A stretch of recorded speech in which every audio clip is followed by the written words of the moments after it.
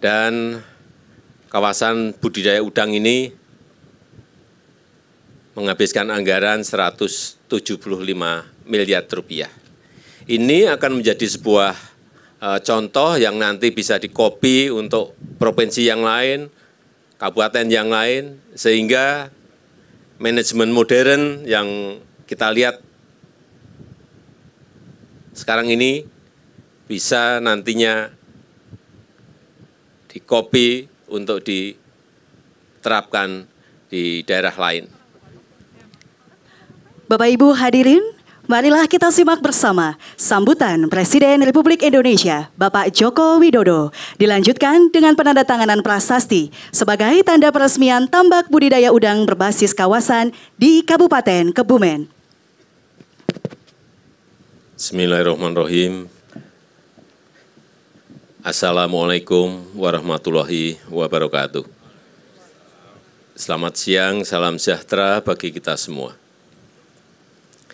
Eh, Bapak Ibu sekalian yang saya hormati, hari ini kita akan meresmikan tambak budidaya udang di Kabupaten Kebumen.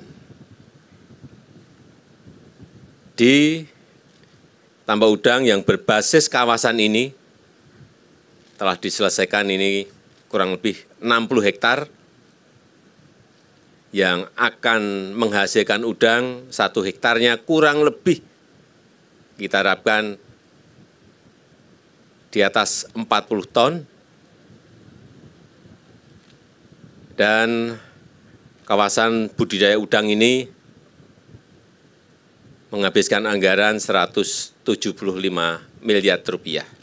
Ini akan menjadi sebuah uh, contoh yang nanti bisa dikopi untuk provinsi yang lain, kabupaten yang lain, sehingga manajemen modern yang kita lihat sekarang ini bisa nantinya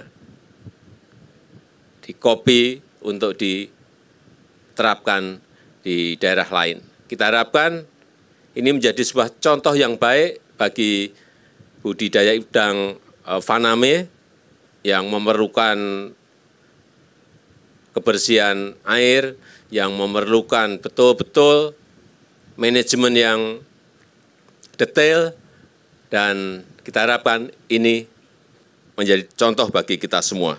Dan dengan mengucap Bismillahirrahmanirrahim, pada siang hari ini saya resmikan tambak budidaya udang berbasis kawasan di Kabupaten Kebumen, Provinsi Jawa Tengah. Terima kasih. Wassalamualaikum warahmatullahi wabarakatuh. Selanjutnya, mohon berkenan Presiden Republik Indonesia untuk melakukan penandatanganan prasasti.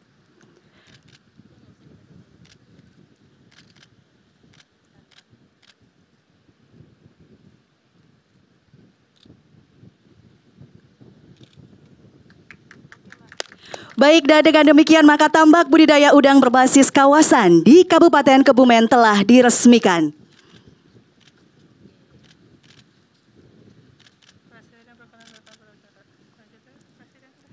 Selanjutnya, Presiden Republik Indonesia berkenan meninggalkan tempat acara.